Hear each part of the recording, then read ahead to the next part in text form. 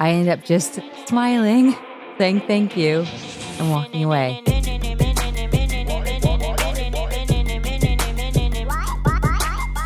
Hey guys, it's Amanda. I hope you all had a great Easter weekend. Now we're back at it. And as you all know, I love watching comedy with you guys. We're going to be watching a new comedian.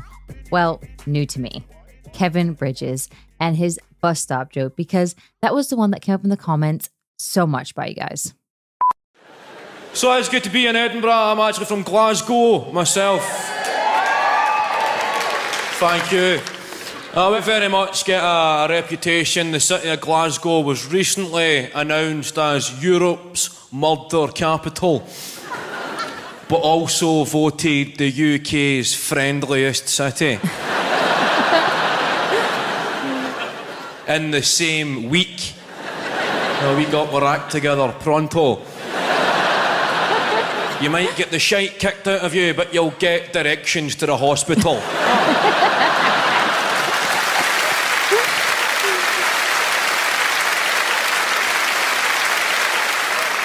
nice people. A bit mental, but a friendly mental. Ah. I also remember my first ever altercation with a friendly madman. Right. It was about midnight. I was standing at a bus stop waiting on a bus. That's the way I play the game, right? That's how I roll. At the, at the bus stop, waiting on a bus, two people sat beside me. They were doing something similar, and uh, everybody was having a good time. Sounds a bit far fetched, but it's based on a true story. So everyone's there getting their bus stop on when a, a friendly madman showed up. A guy. He was across the road and he shouted, Hoi, you! Hoi, you! Aye, you. now, when you're at a bus stop at midnight and somebody instigates a conversation with, Hoi, you! Hoi, you! Aye, you! You kinda shite yourself.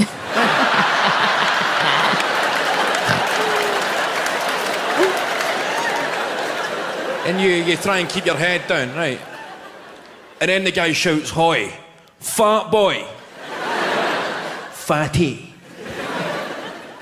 And while I'm standing there and I'm looking at the two people, I'm trying to figure out their BMI. And. Uh,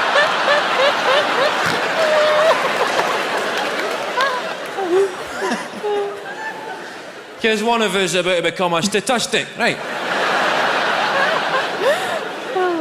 but beside me were just these two big, skinny pensioner types. Kill this one must be for me. and the guy said, Fat boy, give me a quid or you're getting stabbed. I thought, a quid? That was quite reasonable. Panic over. I mean, I've never been stabbed, right? But I can imagine it'd be somewhat inconvenient. Maybe even put a dampener on your evening, right? You'd be covered in blood. You'd need to go to a hospital to get stitches. You'd be physically and emotionally traumatised. And here, we've got a gentleman offering me the chance to bypass such a horrendous ordeal in this current financial climate for a mere pound. Now I'm a sucker for a bargain. So.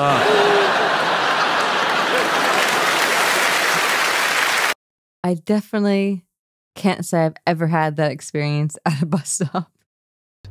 No? Honestly, I thought he was brilliant. The BMI bit was one of the best bits because I just think, could you imagine actually doing that? Like, me? oh, yeah, he is such a good storyteller. I'll definitely be watching more of his stuff. But watching him also remind me of a time when I would have had trouble understanding Kevin. And I'm happy to report that I understood every word. Almost. I remember it like it was yesterday, the first time I flew over to England. I had a stopover in Glasgow and I was so out of my element. I'd never done any traveling, let alone on my own. I was trying to work out where I was going. I was trying to get everyone on time. And I had so many wonderful people trying to help me, and I couldn't understand most of what was said to me. Like, I remember feeling so embarrassed and even rude because I had to keep asking people to repeat themselves. I just couldn't get it. And in the end, I ended up just smiling, saying thank you, and walking away. It was so stressful, but I made it. I did make it. Our times have changed.